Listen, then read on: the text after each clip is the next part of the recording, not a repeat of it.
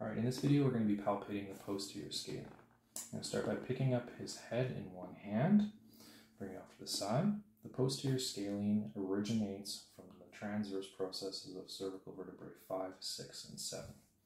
But I still need to count my way down the transverse processes, so I'm still going to start from the top. As seen in previous videos, I landmark the mastoid process as well as the angle of his mandible and go part way in the middle.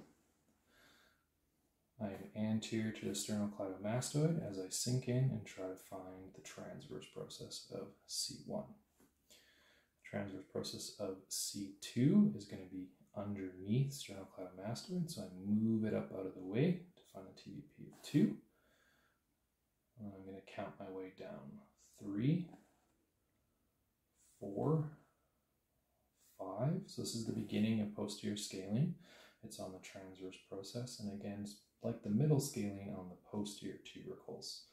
So this is five, six, and seven. And again, seven is right down at the base of the neck in front of the trapezius. You just feel a little bit of a projection sticking off to the side. So this muscle is on a different fiber direction from the anterior middle scalene. It does not run straight down because it's actually going to rib number two. I'm going to turn my finger kind of on an angle so the muscle is more running like this. So our fiber direction is going to look a little bit different from the other scalenes. Because it is a low origin in the cervical spine, it's really only going to have an effect on the lower C spine plus then on the elevation of rib 2.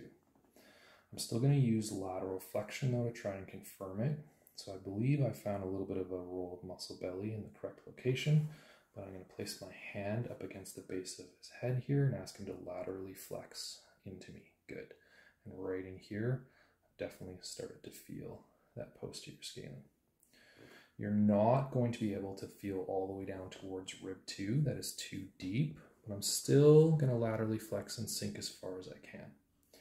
With that deep inhalation that we've done in the previous scalene videos, go ahead and take a nice deep breath in posterior scalene is going to tighten up as it elevates rib 2 as its opposite action.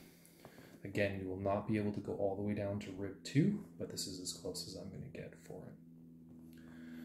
So the actions for the posterior scalene are just going to be lateral flexion of the lower C-spine, and then again that elevation of rib 2 during deep.